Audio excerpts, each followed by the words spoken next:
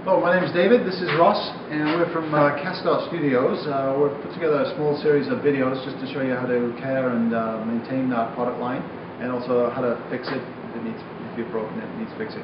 So today we're going to talk about uh, sealing pieces. Now, when um, the pieces come out of the factory, we, we put on a, an acrylic sealer, and um, the reason we do that twofold really. It gives it a bit of depth, it also kind of finishes the piece and uh, makes it more manageable, so there's no excess stain will come on your hands in the stores and that kind of thing. So uh, that sealer will eventually, uh, in, in an outside environment, uh, burn off, and uh, it can be reapplied. Really not necessary. A lot of people don't. 99% of people don't reapply it. But if you want to kind of refresh a piece and, and put on another coat, then, then it is possible to do that. Now, we use an acrylic sealer. Uh, it's water-based. It's, uh, it's not toxic. Um, it's available from hardware stores. They do vary in solid contents. So uh, the higher solid contents, the more of a gloss you'll get. So you have to be a little careful, and we recommend doing a little test area just to make sure that uh, it's not going to be too shiny for your uh, likings anyway. Um, now there is a way, if it, if it does come out too shiny, uh, that'll eventually dull down with the weather anyway. Uh, but if you get like a little green scrubby, which is one over there, We have a little piece of one here. so a little green scrubby, something like that, you can go over the piece like that and it will take off a bit of the finish and it'll dull it down, so you can always get away with it that way. Um, we've also uh, heard um, that you can uh, put a little bit of water-based paint in these uh, products and uh, mix it up very well, just to give it a kind of different tint if you wanted to um, just uh, finish a piece in, in, a, in a more uniform color. That's possible as well. We're not going to talk about that too much today. Today Ross is going to show us how to uh, reapply sealer. And Okay. All right. So the piece that I've chosen to do, it actually, uh, it has not been sealed. Um, it's just going to show you uh, really well uh, what the sealer actually does to the to the color to give it depth. So um, as Dave mentioned, it's a water-based acrylic concrete sealer that you can get at the hardware stores.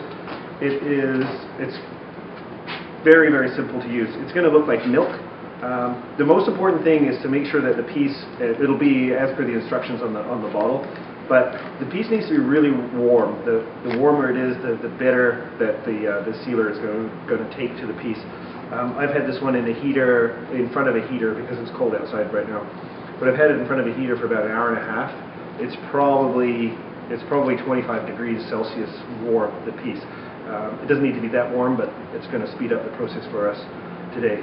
We use a pump sprayer. You can apply it with a brush if you want to. Uh, brushes tend to leave little air bubbles on them, which, which leaves little bumps on them. So um, a pump sprayer is, uh, is the best and the easiest way to go. Uh, there, there's no problem about how much you put on there. You can, when you're applying it, you can overspray it and uh, the excess will run off.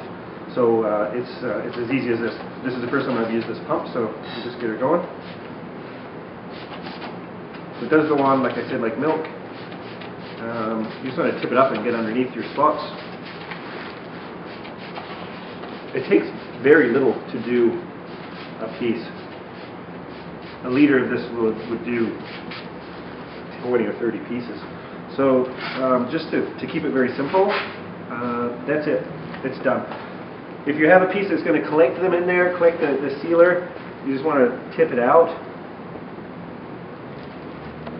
so, uh, so that's it. In, in 10 or 15 minutes, we'll be able to, uh, we'll finish the video, but we'll come back and, and show you the, uh, the finished product of that. Okay? Probably should have mentioned, Yep. uh, maybe give it a wash first before you put on the sealer. Just, uh, again, recommending great hot soapy water and uh, a sponge is probably the best way of doing that. So we'll just leave that for a few minutes and come back and, and have a look and see what the finished product is like. Okay.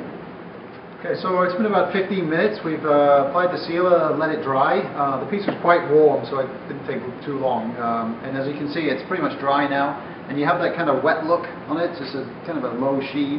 And uh, yeah, looking pretty good. Looking pretty good.